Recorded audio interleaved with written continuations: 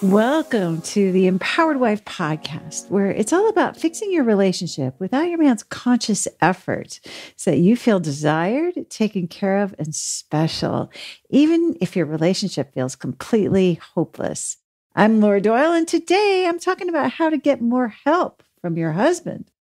My guest, Kelly, had no help from her husband with their home or their children, no communication, no empathy or appreciation, and worst of all, no connection.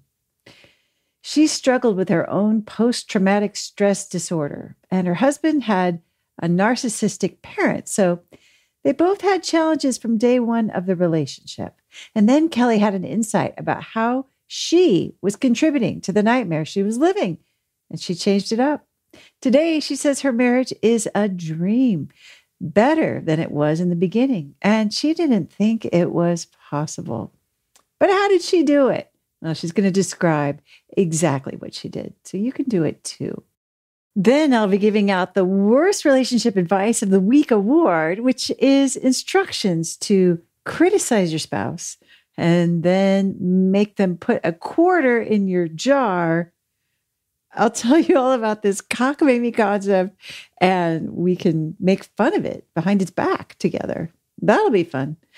All that's coming up. But first, I'm going to share how to get more help from your husband. It's so lonely and exhausting when you feel like the only one being responsible for everything at your house. I remember how stressful it was. I was the only breadwinner at our house, and I felt like I was doing all the housework and paying all the bills too. Talk about overwhelmed and resentful.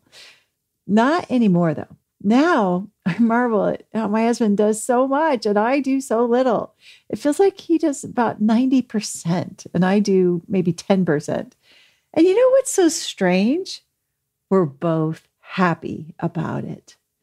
So much happier than we were in the bad old days. So to say he helps more is quite the understatement. I get way more help. And not because I made a list of chores for him in Excel and put it on the refrigerator either, like I had done unsuccessfully for years. He actually always wanted to contribute. But unbeknownst to me, I was making a lot of mistakes that were preventing him from helping me. And as Catherine Aird said, if you can't be a good example, you'll just have to be a horrible warning. So here are the mistakes I was making. Number one, I was being so helpful with pointing out things he hadn't done while overlooking the things that he had. That my husband, John, felt he couldn't do anything right. As a result, he barely did anything, which made him feel useless and depressed. And it made me crazy because who wants to do everything and also be around a useless, depressed guy? Everybody was miserable, and no wonder. Neither of us was playing to our strengths. Like all husbands, my husband wants to make me happy, but I was so controlling, he saw no opportunity to please me or take care of me. I thought I was just being helpful. Now, once I became pleasable by smiling and thanking him when he did help, he seemed so much more inspired to be my hero. Number two, I forgot to say I can't when I was overwhelmed. Instead, I suck up my resentment as long as I could, and then blow my lid in a very undignified way every so often. It was not pretty. And as soon as I started saying, I can't stop at the pharmacy, babysit our niece, or make dinner, my husband started coming up with great solutions like running the errand for me or getting his sister to watch our niece and bringing home takeout. When juggling the bills made me anxious, I said, I can't do this anymore. It's too stressful for me. John has handled that chore ever since, and that's been decades.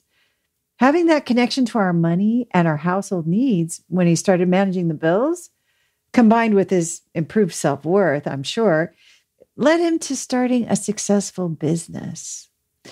I started to think of saying I can't as shorthand for I can't do this and still be happy and dignified. Now I use that phrase all the time. Number three, I complained instead of telling him what I desired. So he didn't know how to make me happy.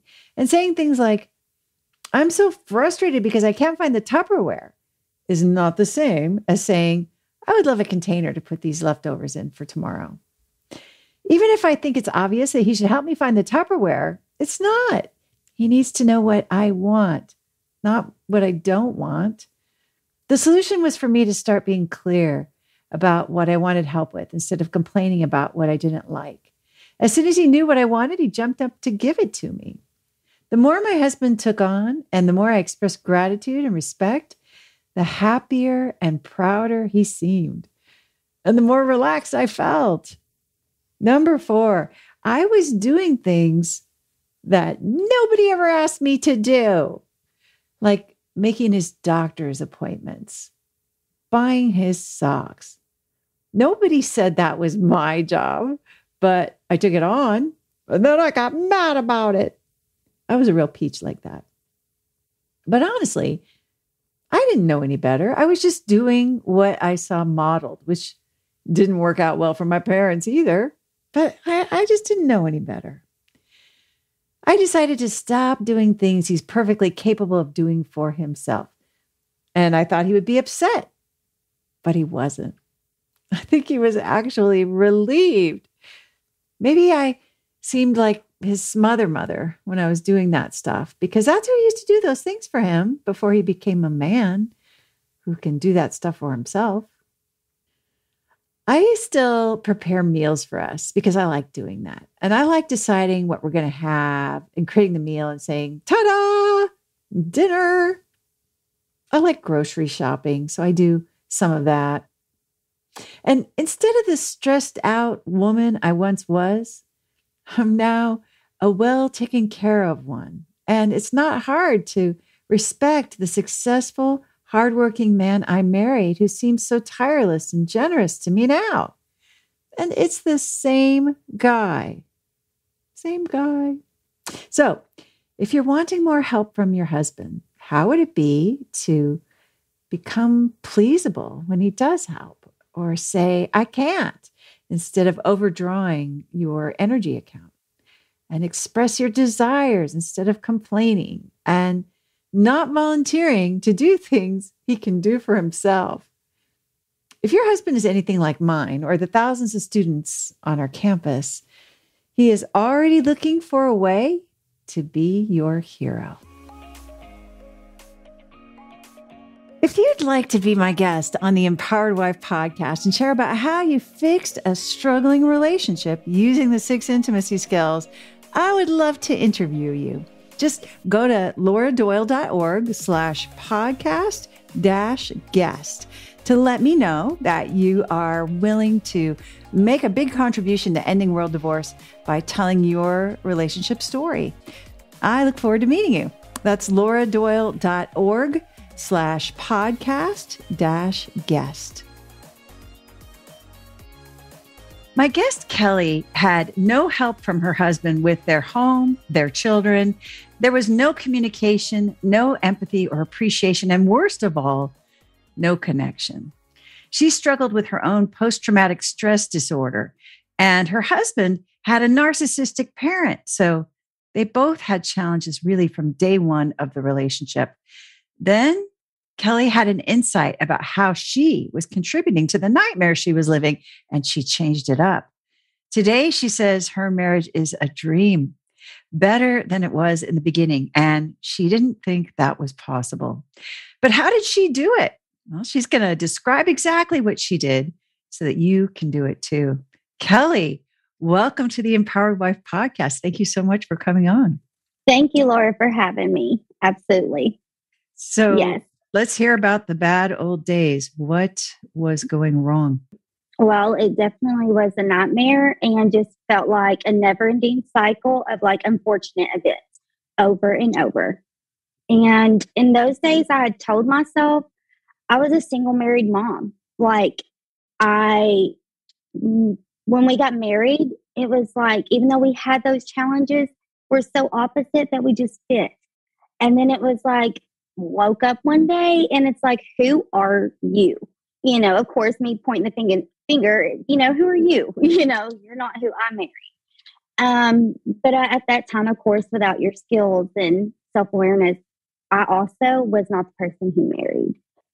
It was just really rough. But then in about 2019, I believe it was, we had had the biggest spot that we had ever had in our entire relationship. It was just neither of us when I was writing this and, um, you know, writing into your show. I had asked him, I said, um, I hate to bring this up, but do you remember what sparked that last huge argument? And he said, You mean the only knockdown drug, which we weren't throwing fists, but that's what it felt like. And he was like, No, I have no idea what started it. And so I don't know what started it, but we were going at it. I was just unleashing onto him, just unloading all the years of my pain, you know, just everything I was feeling in the marriage. Um, and honestly, like if he would go to say something, I would have something to prove him wrong. Like, oh, you know, invalidate him because my experience at that time, I felt obviously more deeply than I did his. It, it went on for a while. I mean, it felt like we were outside for hours. Um, and then in the middle of it, of me going off on him, he cut me off. And he told me, he said, You're going to let me speak for the last time. And he said, We just both have to face that you're not going to be uh, the woman I fell in love with and have ever loved. You're never going to be her again. And uh, your best efforts of trying to change me into this good and better man, obviously, I'm not capable of doing whatever or being whoever you want me to be. And he said, So let's just figure out how to live together and just some way, at least till the kids are grown, just till the kids are grown and you can go on your happy way and I'll go on my happy way, hopefully hopefully. And he went inside. Like, um, we had walked away from one another before in like little tits for tats, but when he went inside, it was just his demeanor. Like there was not going to be another conversation or an open conversation.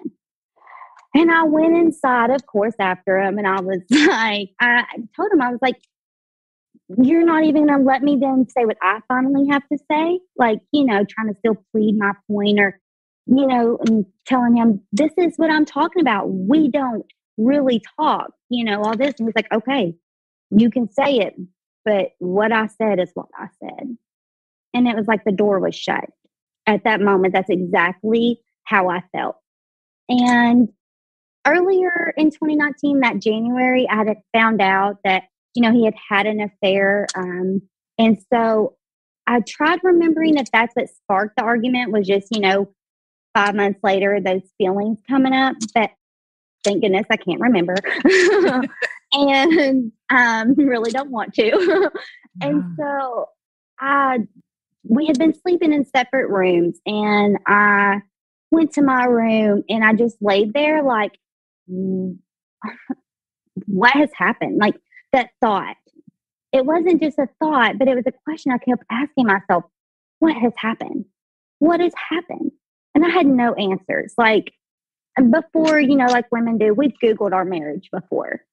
And I thought, well, let's go to Google. And uh, I didn't want to go to Google again. Nothing had came up. Nothing had worked for me. And so I looked at the clock and um, it was a little after one. And I was like, forget it. I'm just going to do it. So maybe I'll go to sleep reading. And I Googled how to fix your marriage when your husband doesn't want to. And you came up. mm. Just, I mean, it was like a couple of your interviews, your your website. And I was like, okay, I have this thing growing up in the South, you know, very superstitious. And there was you you were posted on there three times. And I said, okay, three times, gotta click it. So I did. And you had a link for your podcast, and I'm huge on podcasts. So I clicked your podcast and I actually fell asleep with your podcast open. Um, hadn't clicked on one yet, but just reading through the titles. The next morning I got up and him and the kids had went on their usual Saturday extravaganza, which at that time I took for granted. I thought that was something that he should do. You know, I'm not going to give you a cookie for you being a parent. Right. Um, and then when I didn't have him as a parent anymore, and then going through this journey, I was like, okay, that is much appreciated. um, so they were gone, and I was left at the house. I that night was the I had been feeling very, very low, um, scary low. Just everything building up and then feeling like the another door shut on my life. I was sadly trigger warning having suicidal thoughts. I had even texted my mom and was like, Hey, I'm just not having a good night. Um, these thoughts won't quit. And so my mom periodically throughout the night kept sending in check-ins and um, just little texts. And thank goodness she did because that's I've never felt that scared of myself ever, and I wouldn't wish that on any woman or man ever. And so as I'm at the house, I click, I scroll all the way down through all your podcasts, and I click on the first one, and then go to the second one, and just kept going and going and going. And Laura, every woman's testimony was like an insight to my life at the moment. Mm-hmm. Um, or they were ha- they it might not have been the same experience, but the way they were describing their feelings and thoughts, I was like, yeah, you're preaching to the choir. Um, I think Laura, and then you know your messages at the beginning, at the end. I'm like, um, she got my house mocked up. There's no way she's just de- she's just detailed and she's you know not spying on me um i was so shook that day um the next day i i ordered all your books um i even accidentally ordered your single one and um, Why not? Yeah, yeah. And funny thing is, last summer we were cleaning out our home, our guest room, our home library, and my husband was like, and that was on our shelf. Now, your other books I keep by my bed because I still I keep reading them. And he'd seen that book and he was like, "Were you planning on something?" I was like, "You're not gonna believe this, but it was an accident. I just went through those those books on audio and I bought all of them." and so then I joined the Facebook group, and that between your podcast and that, with not financially being able to join the full program yet, which is still my number one goal, we almost have a couple of debt paid off. And that's the first thing my husband and I are purchasing is still for me to be in the program um, and the coaching because to just to have that coach, you know, on that level. Um, the fulfillment and the growth that the Facebook group and your podcast has brought me, I can only imagine what the coaching is going to be like for me. And so, anyways, then every single day for months, I went through your podcast. I started, I'm a logical thinker. and so I started breaking down your skills. And I slowly started implementing all of them. But the biggest one that changed my life and my marriage. When I mean my life, Laura, I mean my life and all my relationships. Side funny note, I even tried using them to see if I could build a better situation between us and the certain in-law that my that I have. And but they had a they have a life coach as well that was given to them to supposed to help. And um, she called my husband and said, Hey, I'm proud of what y'all are doing, um, but back off a little bit. um, because, you know, it, these skills help you when dealing with a situation um, with a narcissist. But when you're dealing with a, uh, sadly, a, a diagnosed, you know, true at their core narcissist, you do have to remember that this is for you and not for them. Mm-hmm. And you can create a dangerous situation. Um, luckily, I didn't, but it was creating a lot of animal anger headed our way. So, mm. anyway, so then, but the biggest one that helped was the self care. Mm. Um, I mainly because I skipped self care on your skills at first because I didn't know what that meant. I went through and listened to your podcast and heard the other women, and I was like, oh, okay, okay. So I, I noticed, you know, oh, I don't do this. You know, being a mother and I'm also a mother of a special needs child, I some days would it would be 10 o'clock. I'm like, oh, I need a shower, you know, yeah. like yeah. Um, I wasn't, I had neglected myself. I mean, I did realize that just personal self care, um, physical self care, I had neglected. But I had not realized, I did not know what actual self care meant, the what real self care was about. And so that kind of scared me that I didn't, I couldn't understand or get a hold of that skill. Mm. But I made myself dive into it. So my logical brain went to studying and diving into self care, the word, and um, wherever I could find any kind of material about it. And as I started doing that, um, that was the moment that that was the period where our lives changed in mine. Mm. Self care, you know, and even still at the moment, if you were to ask me, what's your self care?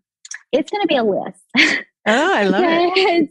You know, I have my mental self care, I have my physical self care. Um, you know, I have my emotional self care.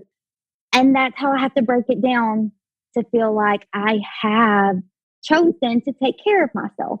Um, so, what are some examples it, of things that you do for self care now?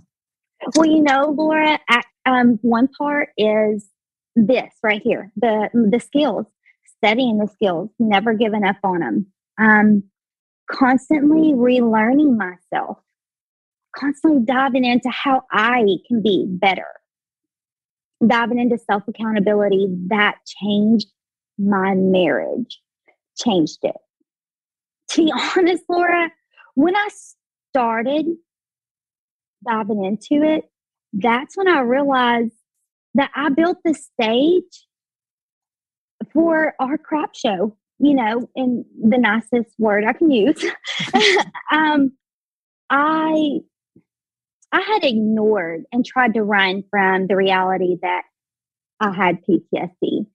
Um, I tried to run and ignore why I had what caused the PTSD. Mm-hmm. And um, then tried ignoring that I had postpartum depression. Like hmm. every, it, it, I was just a quick baby blues. You know, I thought, well, just get over it. Constantly acknowledging it isn't changing it. And the reason why acknowledging it didn't alone change my life or my circumstances was because that's all I was doing was acknowledging it. I wasn't trying to process and learn who I was with that as just a little piece of me. It's not a whole me, it's just a mm-hmm. piece. Mm-hmm. And not looking at it as something that, oh, I have to deal with. Oh, it's a struggle for me. It's just a piece. Um, that's it. But so it sounds like you've kind of come into some self acceptance about yes. So yes, it wasn't like this is all uh, or like this is going to be forever, or this is going to swallow me whole, which is, I think, it felt like that before. Yeah. But yeah. then, you know, when I came to that realization that that's not me. Now, I had used my husband. What was what built the stage was I had used my husband and our kids as a distraction from mm-hmm. taking care of me, yeah. from dealing or growing, not just dealing with myself, but growing, not wanting to grow. And I place my identity, my value, and my worth in their hands, right. along yeah. with using them as a distraction. Yeah. And he could have, you know, not saying he was completely perfect, obviously, in those bad years, but even the times that he was um, doing and at his best, it wasn't enough because I I did not feel enough. You can't ever feel enough from somebody if you're not if you're not feeling yourself. Right. And I learned that the long hard way. You know, you see those little posts all the time on Facebook, but yeah, yeah. you know, what does it mean? What does it really mean? I, until you're sitting there googling your marriage for like the hundred fiftieth time in the past four years, you're like, oh wow. But the journey of self care, along with that realization, it just it showed me the impact of self care, along with it revealing self accountability. How huge of an impact that that alone impacted my marriage. Um, before really starting the self care journey, Laura, I seen a huge difference, obviously, in our marriage. Um, I had already moved back into our bedroom. Um, we he surprised me with a date. Um, we used to go on one date night a month, and I had quit for years. Just came to a stop. And I had gotten off work, and I work on the COVID ward, and so I was beat down, um, oh, yeah. tired, and I haven't been going anywhere. I went out to eat one time last year. Um, now that I'm not off the COVID ward, but I go straight home. And I came home and he had made dinner, like completely turned our dining room into a whole like romantic. And my husband is not romantic. And one thing I love about him, I'm not big on gushy stuff either. and so, but he had, I mean, candles. He had to go buy candles. I didn't even have candles. and um, because he was like a date night. And I was like, whoa, okay. And it and that was before the summer of last year of diving into the self-care, my self-care journey and learning myself. So you're and, saying you're saying that just you deciding to focus on your self-care actually brought out kind of inspired him to make this romantic gesture. Is that what you're saying? Yes, like it's not that, you know, and I've brought that kind of same question up to him, but you know, he just said it wasn't that he finally seen me worthy of a surprise date night, which he had never in all the 13, 14 years and all we've been together, he's never done anything romantic like that.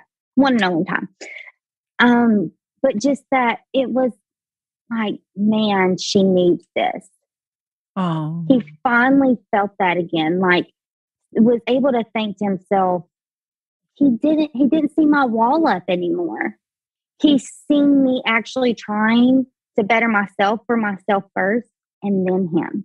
You know, at first it was kind of scary for him because some days I'd be, you know, some days it'd be triggers all day, especially when I was learning my triggers and learning how to handle them.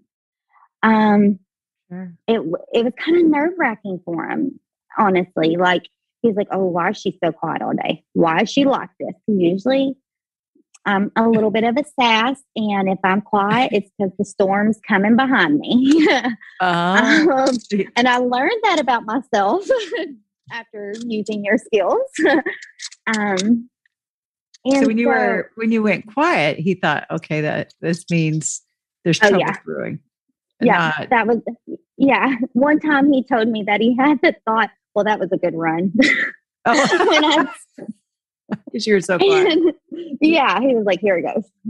And and of course I felt that because I'm like, you know, this whole during that whole time of me pointing fingers at him and over analyzing him and oh well he, it, this is because of him i realized that i had created triggers for him um and still to this day sometimes if, I, if i'm quiet too long just thinking in my head um, about anything, grocery list, he will come up to me and he will check in and he's like, hey, just get it out. You know, sometimes it's that blunt. And I'm like, oh no, it's the grocery list. Or, oh no, no, no, it's about this and that. I have to verbally tell him what it is because if not, it still gets to him when I'm quiet, you know?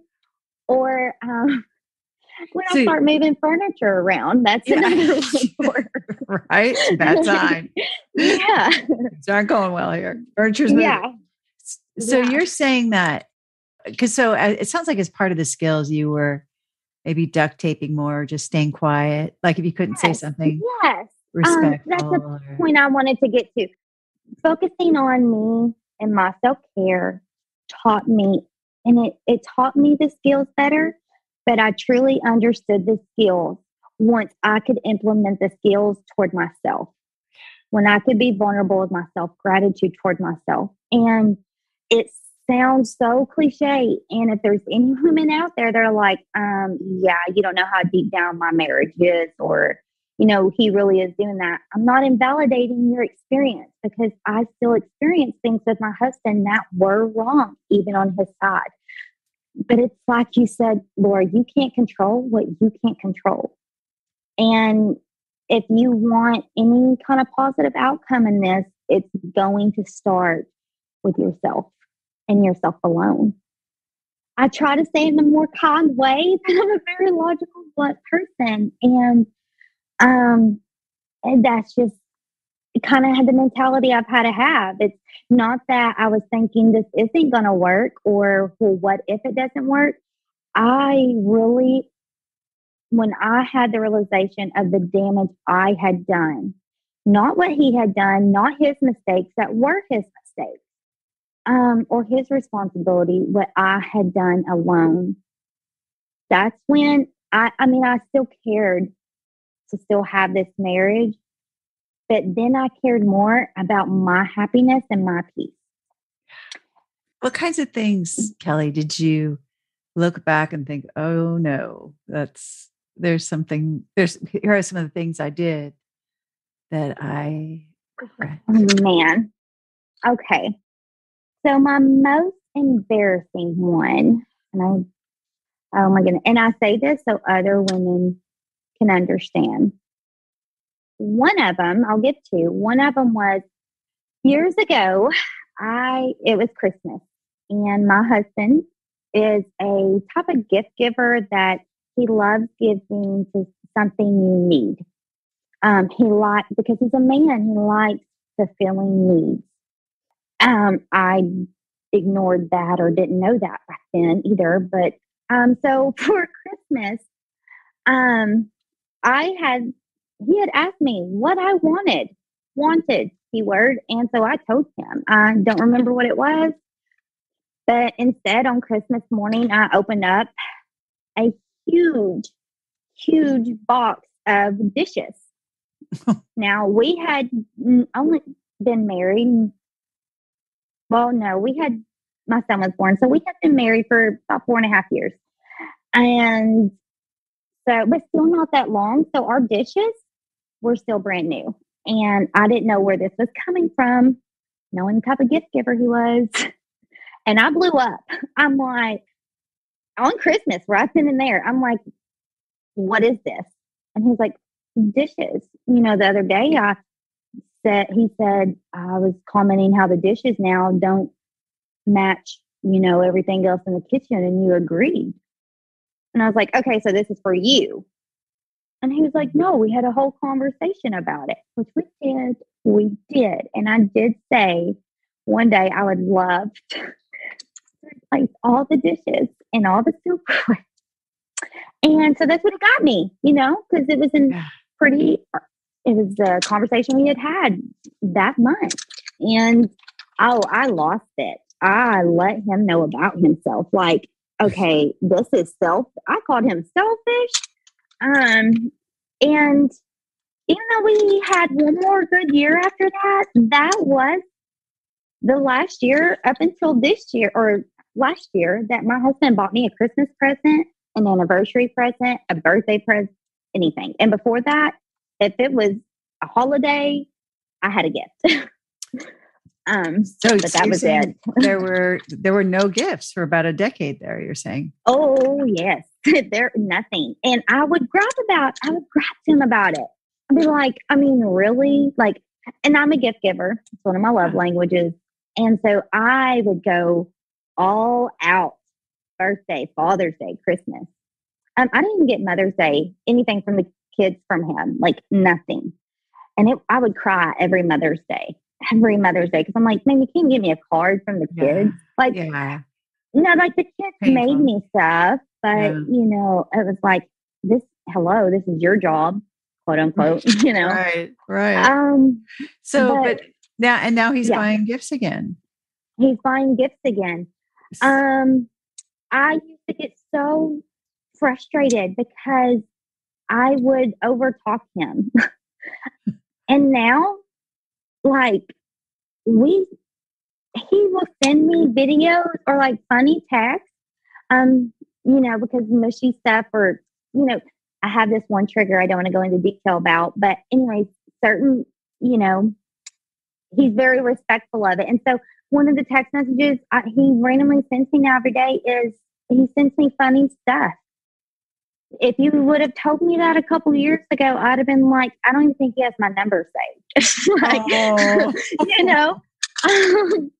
but So yeah, he's trying to make you laugh every day. It sounds like. every day. Um, and another embarrassing thing I did. This is technically number one, but some women can relate to this. I, me and him, were both sarcastic. We have that's one of the three things we have in common, and thank goodness we do because we both have a dry sense of humor. Um, but he, we were visiting France. His best friend, long time best friend, and his best friend, he had made a joke about um, it was something to do with work.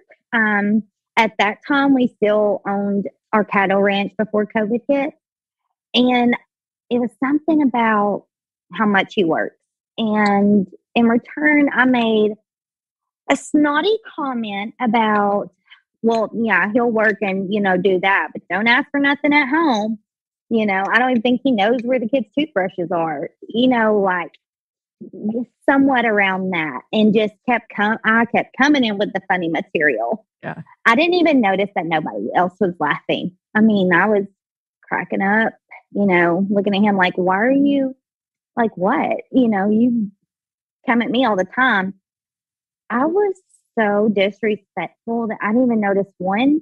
I was doing that out of hiding how I really felt about him and my thoughts, but two, whether I did or didn't, that was his best friend. And his best friend only gets to come home once a year. They live out of state um, and have a, a ranch that was still is two times bigger than what ours was. I mean, it was mass or it's massive.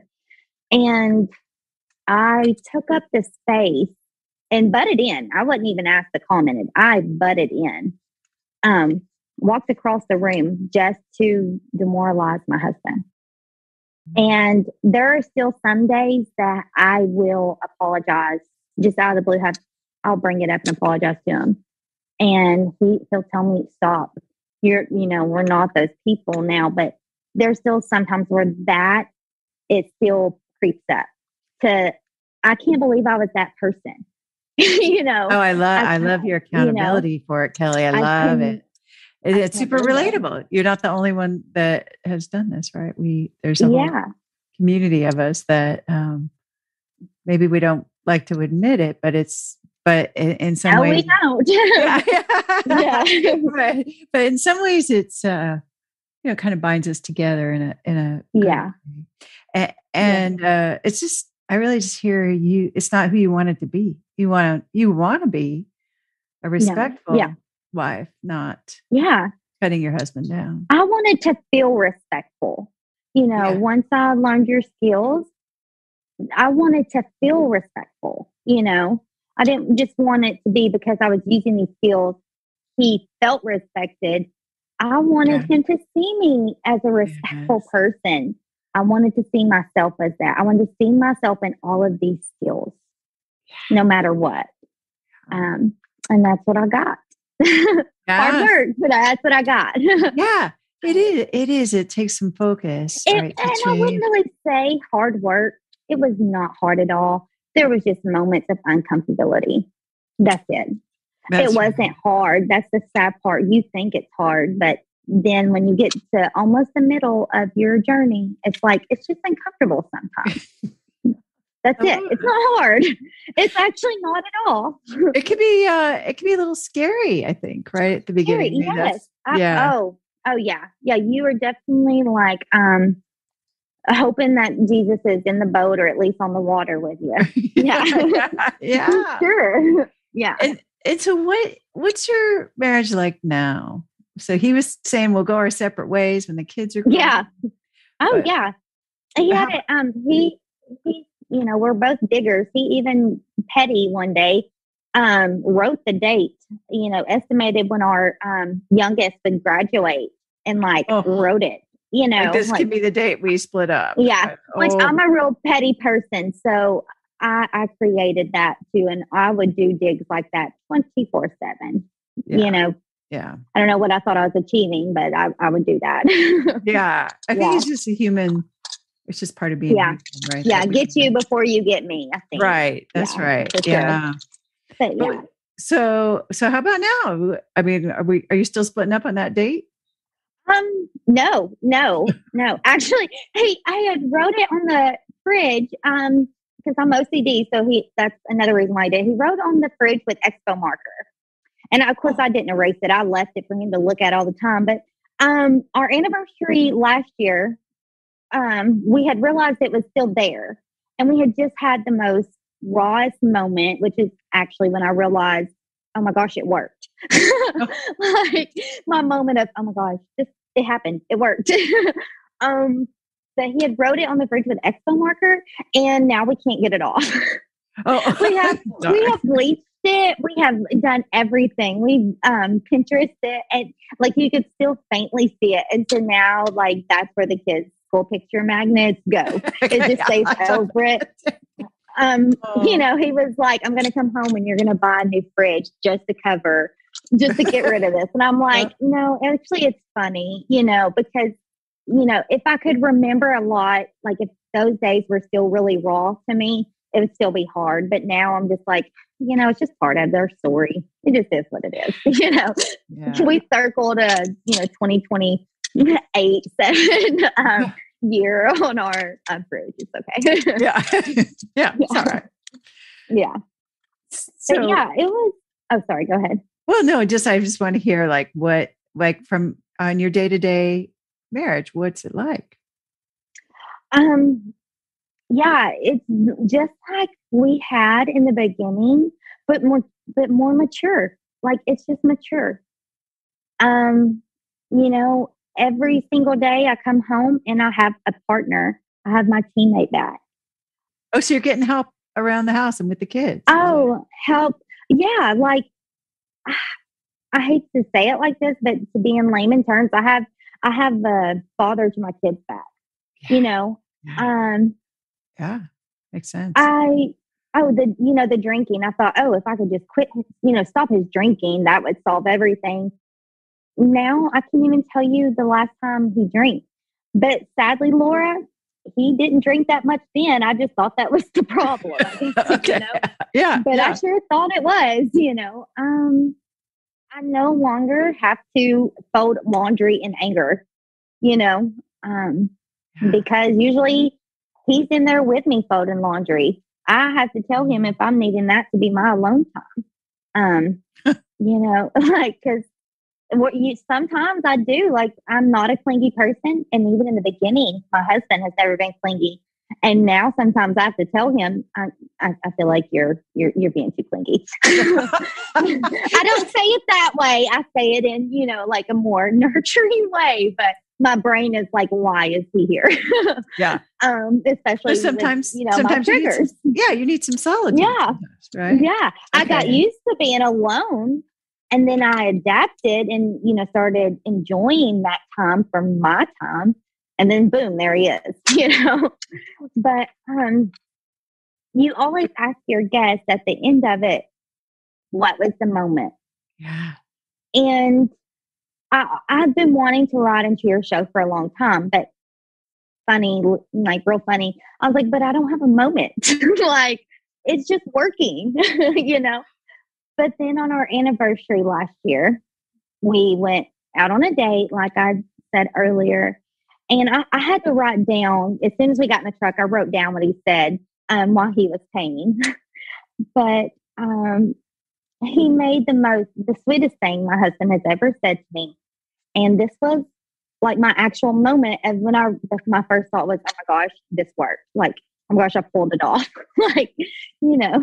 um wow. but anyways, we it was toward the end of us eating and he he just looked at me and he said, you know, if if he would have had to face the amount of work that I had done to save us, he probably would have questioned whether he wanted to do it, like whether it was worth it. And at first I was like, my husband's really dry. So, like, even a blunt talker, more blunt than me. And I was like, where is he going with this? Bless his heart. But then he, you know, followed, he just said, you know, I just don't know. Like, thank God. And so I was like, okay, he's being sweet. I paused myself before reacting. And I, I told him, I said, you know, as determined as you were that night to um, to live 10 plus bad years, I was really, I'm going to tell myself, on that if you were given just a slight bit of chance to have 10, maybe even more good years, you would at least attempted it. You would have at least attempted it. Mm-hmm. Because, honey, that's all I did was I just attempted it. That was it. And I don't tell him, I haven't told him everything about the program and the skills and all that. He just knows like the gist of it, that it's um more about me and um helping me pretty much. um, because my husband's a logical thinker and you know, some men can also overthink and he can sometimes. So but, this was a big acknowledgement of you, yes. what your accomplishment like, yes, some people can run really fast or they're good actresses or whatever, right? But you're, yeah, this was a big accomplishment. You fixed your family. Yeah. You know, and my husband's never, even in the beginning, he's not one, um, you know, because of his child, his home life, which I never gave him grace for. That was another thing self care taught me is I'm telling him he needs to give me grace and appreciation, but I never gave it to my husband. Never. I will be very honest about that. I expected it, but I never gave it. And I never gave him gave him grace for his home life and how that played in on him. And you know, I'd always like I said, be mad about the communication, be mad about everything and blaming, but never gave him grace. And so for my husband, just for those couple of words of I can't believe he did it, you know, or, you know, basically like, wow. Um, it was more than just appreciation. Those were probably the most romantic words my husband's ever told me yeah. because he, you know, was he after I said that, he told me he was like, I don't care if it was you, me, I don't care. And he's like, just thank God. He said, because, and he told me and for any woman out there that's doubting your marriage, like, oh, he said it's done. Mine did too. He actually helped me move stuff into my bedroom, um, into separate rooms. And by I mean helped, I mean he pretty much did it all. Um, before I got off work. I mean, he wanted to make me real comfortable away from him. Um, but he told me just to have him look at me and say, you know, I'm glad you did because he had even told himself, he had never told me until our last anniversary of last year that he's like, I couldn't think about going anywhere. He's like, I knew that day was going to come, but I would just tell myself it's just going to come and I'll deal with it then. Because he couldn't process us not being mm. together. And he said, but if that, it, it, when that part came, he said we wouldn't even be in each other's life. Mm-hmm. And he mm. couldn't process it. And my husband has never been that raw. Um, uh, he's honest. I've always had honesty for him, but that kind of rawness that a woman's like, oh, wish my man said that to me, you know, um, that's not my husband. I know, you know, he definitely affirms me now um, because I give him that affirmation also. But um, there's a lot of emotional safety at your house that didn't used to be. Yes. There. Oh, yeah and I that was one thing that I have been praying on because I thought it was there again, but I was like, oh, maybe not, you know. I'm just going to see what comes. um, but yeah, after he said that, my first thought, Laura, was like kind of been Home Alone. Oh my gosh, this worked. you know, like I pulled it off. Yeah. you know, yeah. we still have our moments. I mean, we're real people. We still bump into each other. Um, but you know, I no longer fear now when we bump into each other. What's next? There's not that thought of what's next anymore. It immediately, it's a whole different thinking process. And I didn't notice that until getting ready for to meet you was I no longer have that thought anymore of well, what's next. Oh, great. Yep, another day. I don't. I don't prepare for the worst anymore. I just tell myself it's going to be good or I don't want it. And I'm going to give myself good. Mm. Plain and simple. And Beautiful, it's Kelly. because of these skills, you know, all because of these skills, soaking them up for myself. It's scary to thought because when you start doing it, you start thinking, well, oh, okay, that's great. They'll work for me. I could feel it changing me, but I could still come out the at the end of this and not have him. But just keep going because eventually that thought is gonna just seem so crazy to you. Like, why did I even think that? Because you're you're that's not gonna be a care of yours. It's not. And that's just the most peaceful way I can put it. It's not gonna be a thought anymore. Um, Oh, because beautiful. of the skills is, and the podcast, you know. And if you can afford the coaching, please do the coaching, you know. yeah. So you don't have to like get up at 10 o'clock at night and scroll through the podcast, which is great, but scroll through a topic, you know, a title of, oh, okay, this is what I'm feeling or thinking right now. Let me Ah. click on this and go through this again, you know. So, along those lines, what is your tip for a woman who's feeling like you did, where um, like she's just there, they're just there for the kids? Um, Yeah. She's a single mom to those kids, Yeah. Right? And yeah, yeah, and everything that comes with it.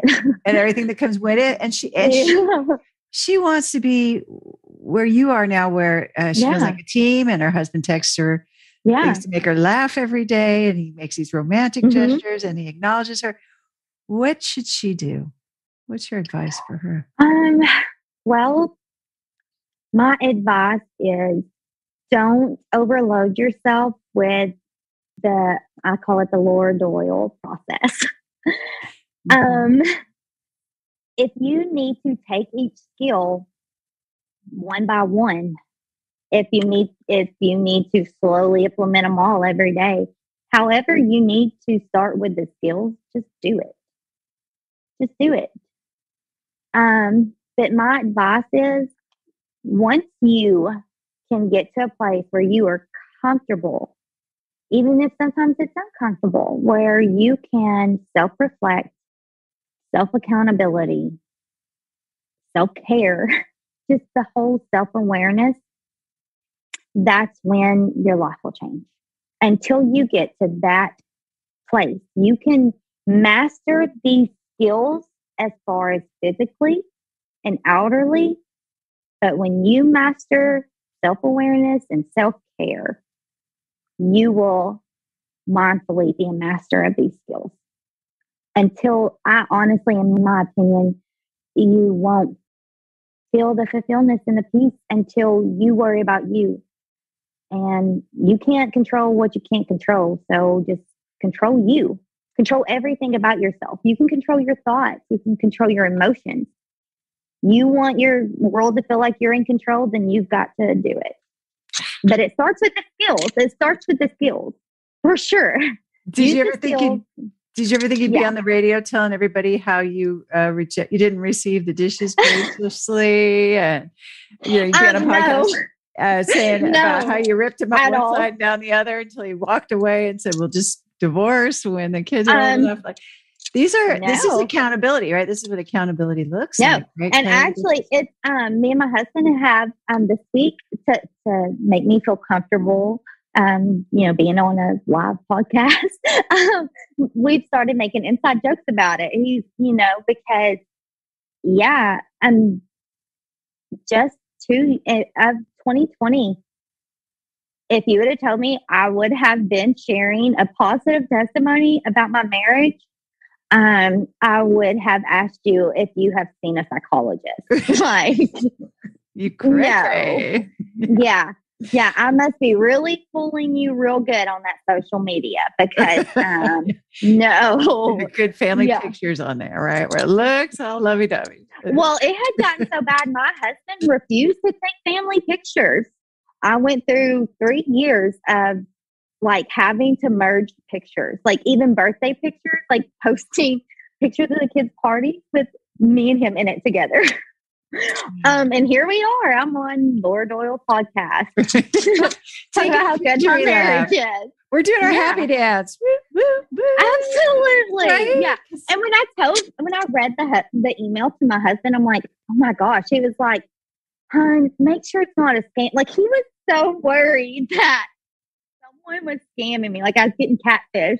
And he even he even got the email and like tracked it for me just to make sure. He was like, well, babe, we're awesome. I mean, we are awesome people, but oh my gosh.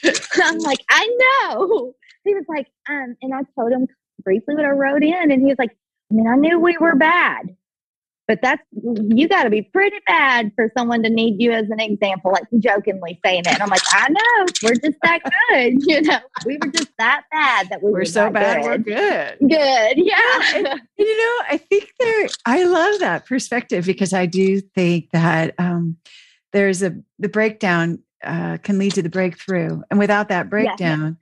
You know, without that big fight where he went back in the house and wrote the date on the refrigerator, maybe we wouldn't today, right? So yeah, I, actually, um, you know, Laura, it was that night when I woke up that Saturday morning, um, when the morning that I started listening to your podcast. It was that afternoon when I seen it on the side of the fridge.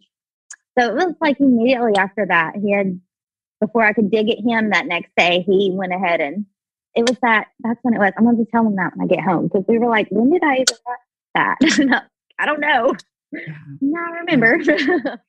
Which likely is. You, if you could go back in time and tell yourself what something that you know now that you didn't know then, what would it be?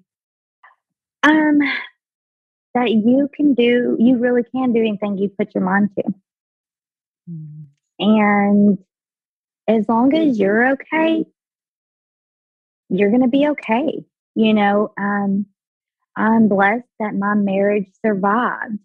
But I actually say this with happiness that I wish I could have told myself that I was going to get to a place that even if it didn't, I was going to be at peace at, with him and with myself. Like I no longer had resentment. So I was even at peace with him and with myself. And I was looking forward to finally being at peace and feeling happiness and not constantly feel like even when we were good, feeling like, you know, even before the bad times were, because of my PTSD from being um, trigger warning sexually and physically assaulted, I constantly emotionally and mentally was constantly on a hamster wheel, constantly. And that's the only way I can explain it. I was always on fight or flight. Didn't know it. Um, I just thought, oh, I'm just hyper. That's right. Which I am. Just how but, it was. Yeah. Yeah. I literally felt hyper even inside. So if you had even told me when me and him started dating that one day I was going to feel at peace, I would have told my future self, I sure hope so. I hope I don't veer anything off and I make it there. um, mm. because this is amazing. And I mean, even today, I'm so at peace. He, you know, it's working, but say one day, you know, something crazy happens we're both at peace now. We're both mature. We're both on the road to growth. And the road to growth, it never ends, you know. Um, yeah. Maybe one day we're on the front porch and rocking chairs. I guess that's when the growth ends. But um, I enjoy growing. I'm enjoying this road.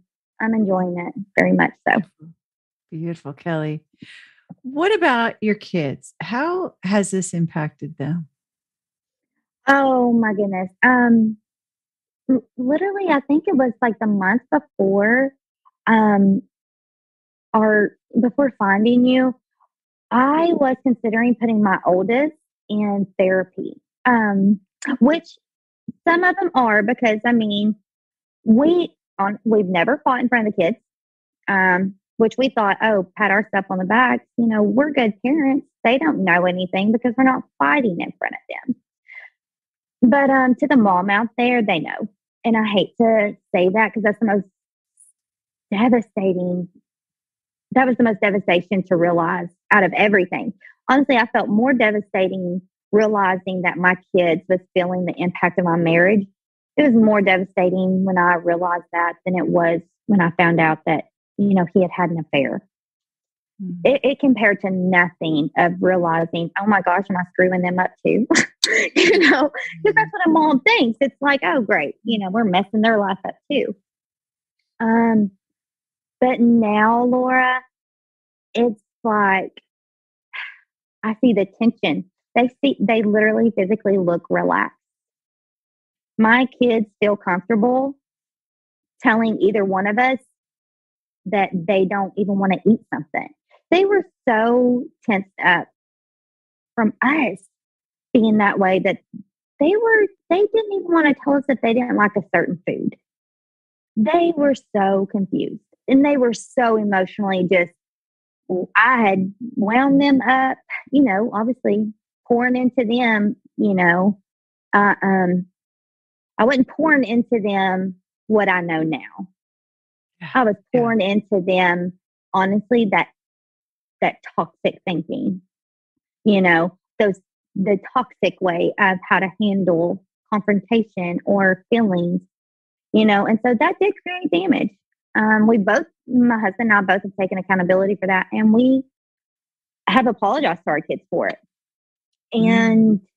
you know, I thought that was when the real battle, or not really battle, but real triumph and just struggle was really going to come in was now changing our parenting because that is hard to do. I have watched mm-hmm. so many people, you know, when it came to needing to change it up, take a long time.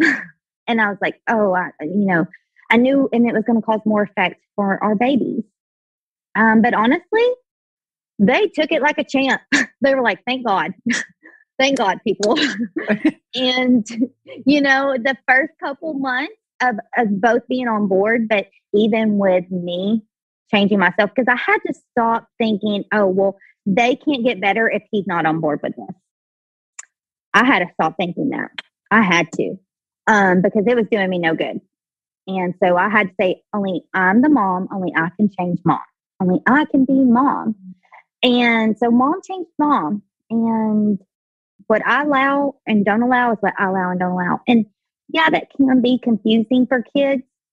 But when he seen more positivity than negativity, they were kicking back to me. I don't know when he got on board, but thank God he did. Um, because then a lot of the negativity, like the kickback I was getting from them and the emotional baggage they were unloading on me, which of course was fun. What we're parents is what we ask for, um, what we chip into. But he, um, it really, really, I can't tell you when the last time it was we had a meltdown. I can't. Um, hope knock on wood. wow. Just, they're so at peace. They're just, I think they're probably more peaceful than we are. And just the satisfaction of knowing that my kids are going to go into relationships, marriages, or just into the world in general with having these skills in their environment and then in their life and knowing them, it, it's worth more than anything ever. Mm. Being able to give this, your skills and everything I've learned from you and the journey to them, I, I wouldn't trade for anything. Oh. As, as long as they have it, you know, and, and there was even a time I thought, you know, oh, well, what if we don't work out? You know, and then I, before our anniversary last year, and then I seen how happy our kids were and like just how their like their growth and their mindset. And I'm like, you know what? That's worth it. That right there is worth it. I don't care what comes out of this. They are better people, and I feel better. I'm at peace that that um, is the most satisfaction out of anything. Is how happy they are. Really great job. So inspiring. Yeah. That is really that's very moving, beautiful. Right, you're a role model of um, uh, possible. I don't know if I don't know if I'm a role model yet. Well, every um, parent is whether they want to be I'm, not, I'm right? trigger morning. Yeah. yeah. Someday I feel a walking trigger morning, you know. Yeah, husband, yeah, sure. You not know, perfect, not a perfect role model. Yeah. But, uh, but you um you remind but I'm me definitely the average. Song. I'm average. well, you remind me that song of uh it starts let there be peace on earth and let oh, it begin yeah. with me, right? Yes. And so yeah. You've yeah. created um peace on earth you're peaceful, yeah. your husband is peaceful, your children are peaceful. And it's like everyone's greatest wish, really, to have that. Yes. So uh, you must feel very accomplished. You seem incredibly accomplished to me as a, a wife and a mom. Yes. As a woman too. yeah. Yeah. Sorry, I was getting a little choked up. I had to catch myself. Yeah. Um, yeah. yeah. Yeah. You know, when you think about it, journey, it's just like I cannot believe I'm sitting here thinking to myself, I would not trade those bad years. you know, it's it's those bad years that brought us here. It's before the journey, before the healing begins, we got to have that. And um, whew, cannot believe I'm sitting here grateful for those bad years and what it's what it's brought us now. Yeah, yeah, yeah. That's yes, ma'am. I love that. Yeah, I always think of yeah. that. Uh, those broken pieces of glass, right? That's your stained glass yes, window now. Yes, ma'am. Yeah. Yes, ma'am. Yeah. Mm-hmm. Yeah. Well, super inspiring, Kelly. Thank you so much for Thank your you. authenticity and your vulnerability, your amazing accountability. It was really engaging to hear your most embarrassing stories that were so relatable uh, and human. Yes. Thank you. thank you. Yeah. Yeah. You did a great job. And uh, I'm okay, sure you great. inspired you inspired a lot of other listeners today to uh, get started with the skills. So, I hope, I really hope so. Yeah, I really hope so. I hope I give some woman or man, but some woman a piece of hope for themselves, if anything, for themselves. Yeah. Yeah. Great job. Thank you so much. Awesome. Thank you, Laura. If you'd like to be my guest on the Empowered Wife podcast and share about how you fixed a struggling relationship using the six intimacy skills, I would love to interview you. Just go to lauradoyle.org slash podcast dash guest to let me know that you are willing to make a big contribution to ending world divorce by telling your relationship story. I look forward to meeting you. That's lauradoyle.org slash podcast dash guest. And now it's time for the Worst Relationship Advice of the Week award. It's the worst relationship advice of the worst relationship advice. Yeah, it's the worst relationship advice of the worst relationship advice of the and the advice that has me ranting wildly this week was sent to me by a student who says, This was from my marriage counselor last night. He means well, but oh no. Hope this gives you a chuckle. It definitely gave me a chuckle right after I gasped and groaned and OMG'd so much that John was like, What? What? So I was like, Wait till you hear this one. And then we, you know, gasped and groaned and OMG'd together, which is perversely enjoyable for me, maybe more than I should admit. So I'm excited to get this, and I'm grateful for your contribution to the podcast. Thanks so much for thinking of me and sending this along. This student writes After going over the 16 cognitive distortions that people tend to have in their relationships, which leads to conflict, like overgeneralizations, jumping to conclusions, all or nothing thinking, etc., I asked my counselor how we would go about changing these bad thinking habits at this point in our marriage and lives. And he said that my husband and I should both get a jar and put our names on it. Every time one partner said something that represented a cognitive distortion, the other person would point it out, and that partner would have to put a quarter in the other partner's jar. And at the end of the week, the person with the most quarters would win. They would quote unquote win and they could go buy something. And she added, he said it would be fun. I almost died. So see why I was OMGing so bad when I read this? I mean, what could be more fun than playing the blame game all week with your spouse for the chance to get a dollar 25 to spend on yourself? Especially if you're already struggling to have peace and connection. This is just going to make everything go kablooey.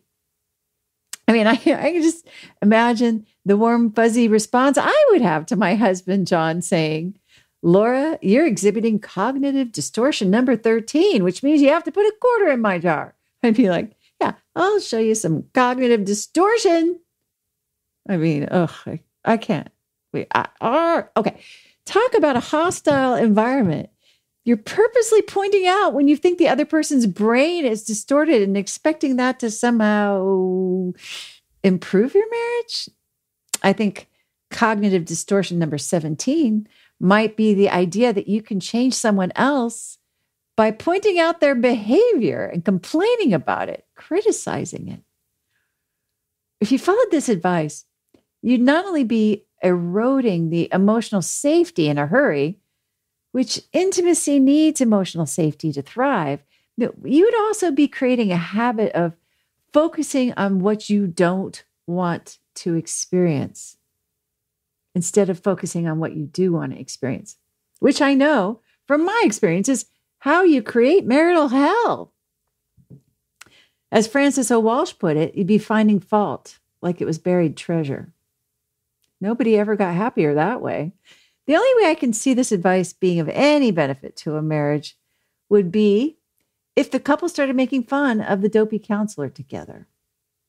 Because the advice to point it out every time your partner says something that represents one of 16 cognitive distortions and make them put a quarter in your jar is the very, very worst relationship advice I've heard all week. Listen and subscribe to the Empowered Wife podcast. Next week, I'll share how to ask for what you want in your marriage. In the meantime, I hope you're having lots of fun. Today's fun fact is that I just read an article about a study that found that drinking wine can protect you from COVID. And I'm feeling very smug about that.